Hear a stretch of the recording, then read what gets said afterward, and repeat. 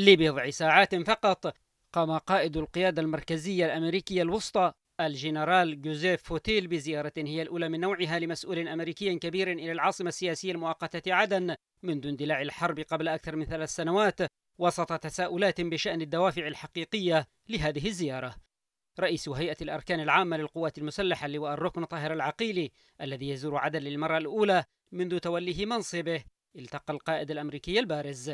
البيان الرسمي الصادر عن هذا الاجتماع أوضح أن رئيس هيئة الأركان العامة بحث مع القائد الأمريكي تطوير قوات خفر السواحل اليمنية والقوات البحرية والقوات الخاصة لمواجهة تهديدات الميليشيات الإرهابية ومكافحة التهريب بالإضافة إلى مستجدات الوضع في اليمن وجهود الحكومة لاستعادة الدولة والقضاء على الانقلاب.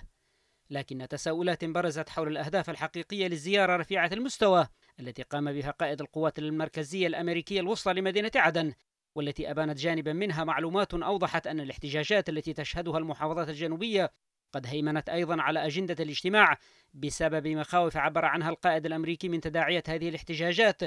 وإمكانية أن يستغلها تنظيم القاعدة لإعادة تعزيز نفوذه في المناطق الجنوبية.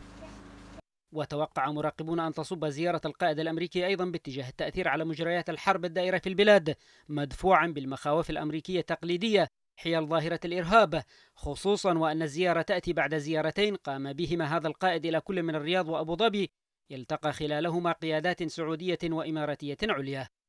وعلى الرغم من تأكيدات رئيس هيئة الأركان العامة خلال لقائه القائد الأمريكي على المضي في مسار استعادة ما تبقى من مناطق تحت سيطرة ميليشيا الحوثي الإنقلابية مهما كانت التضحيات إلا أن تشديده على أن اليمن لن يكون منطلقا للجماعات الإرهابية بل جزءا فاعلا من تحقيق السلم والأمن الدوليين تشير بوضوح تام إلى الأجندة الحقيقية لزيارة القائد الأمريكي البارز في ظرف استثنائي كالذي تعيشه عدن في الوقت الراهن.